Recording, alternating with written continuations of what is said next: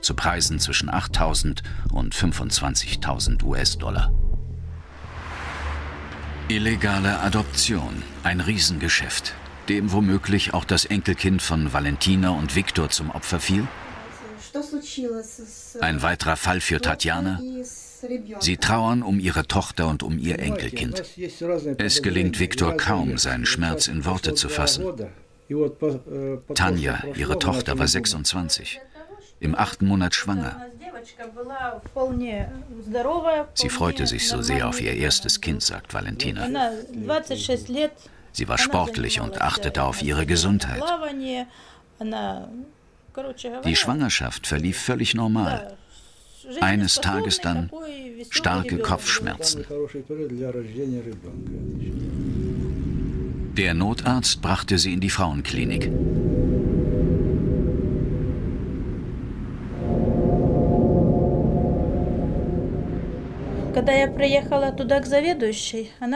Als ich sie in der Klinik besuchte, sagte die leitende Ärztin, Regen Sie sich nicht auf, alles wird gut.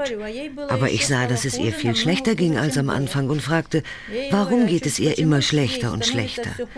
Und sie antwortete, es scheint, als ob sie eine Vergiftung hat, weil sie sehr viel Aprikosen gegessen hat.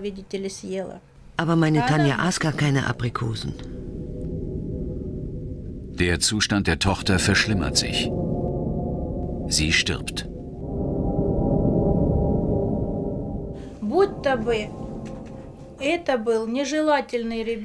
Die Ärzte behaupten, dass unsere Tochter das Kind abtreiben wollte und irgendein Arzt ihr eine Spritze gegeben hat.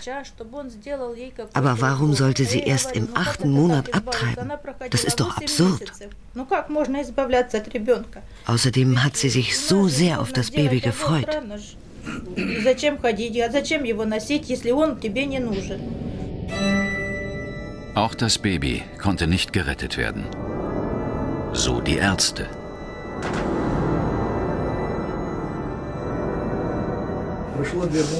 Wir bekamen zwei Dokumente. In dem einen hieß es, das Baby sei tot zur Welt gekommen.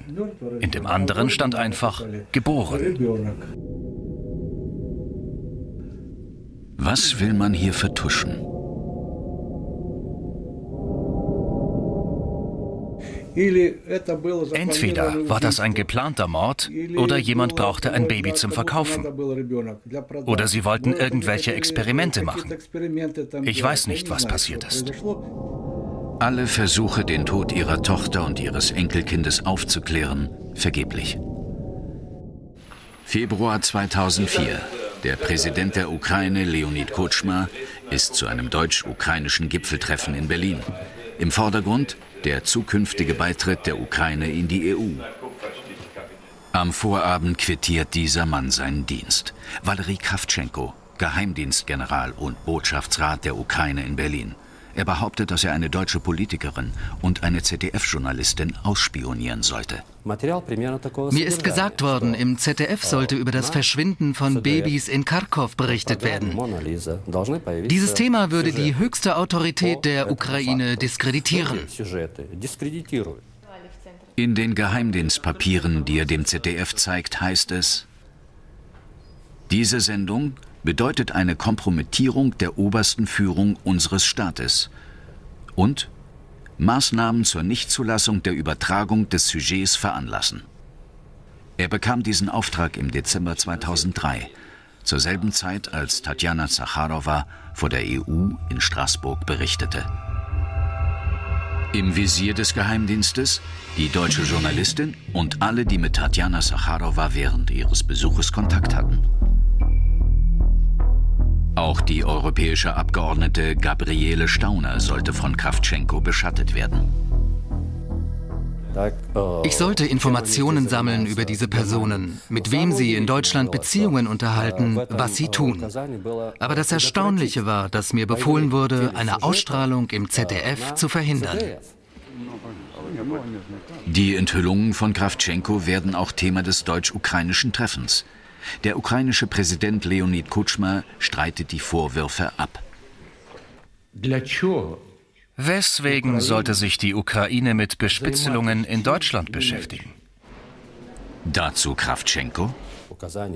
Der Befehl kam von oben, vom Leiter des Staatssicherheitsdienstes der Ukraine. Krawtschenko lehnte diesen Befehl ab. Das, was mit den Kindern passierte, ist der eigentliche Skandal und nicht das, das im Westen bekannt wurde. Hier hat eine Verkehrung der Tatsachen stattgefunden. Der übergelaufene Geheimdienst General Krawtschenko ist mittlerweile im Westen untergetaucht. Das ZDF hat die ukrainische Botschaft in Berlin im März 2004 um eine Stellungnahme zu den Spionagevorwürfen gebeten. Bis heute keine Antwort. Die Generalbundesanwaltschaft in Karlsruhe ermittelt wegen des Verdachts geheimdienstlicher Agententätigkeit. Das Verfahren läuft noch.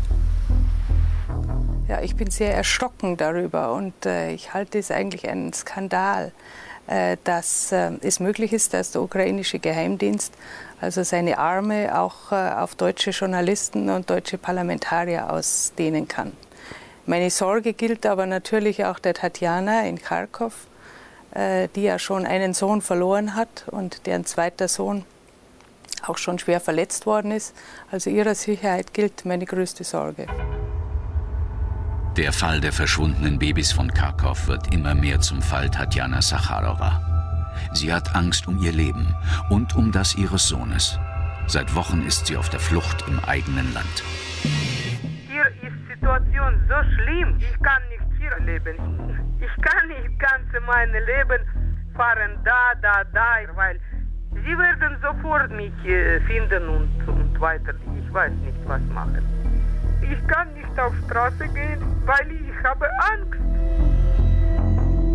Es ist immer so, dass die Übertragerin der schlechten Nachricht ja geköpft oder erschlagen, ermordet wird. Und das darf ja wohl nicht sein.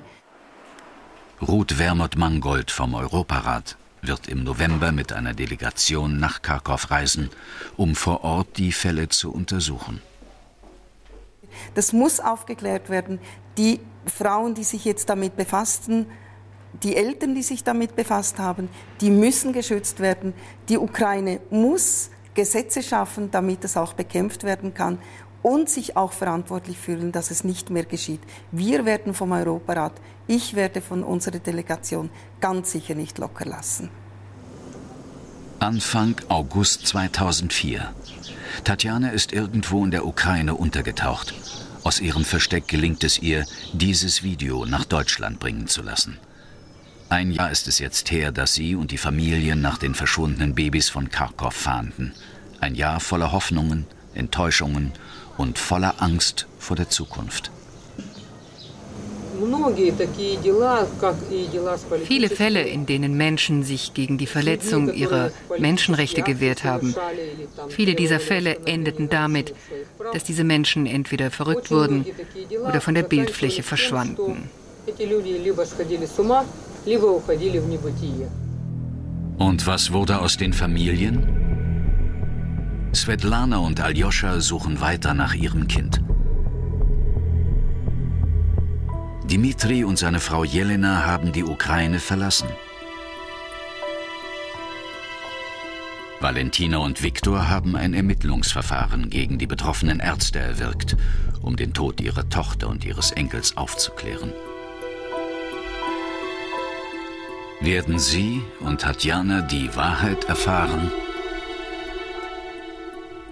Wird es jemals eine Antwort auf die Frage geben, was geschah tatsächlich mit den verschwundenen Babys von Kharkov?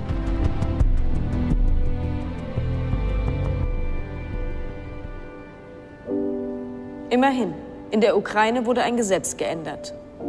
Demnach sind Ärzte jetzt verpflichtet, den Eltern auf Verlangen auch ein totes Neugeborenes zu zeigen.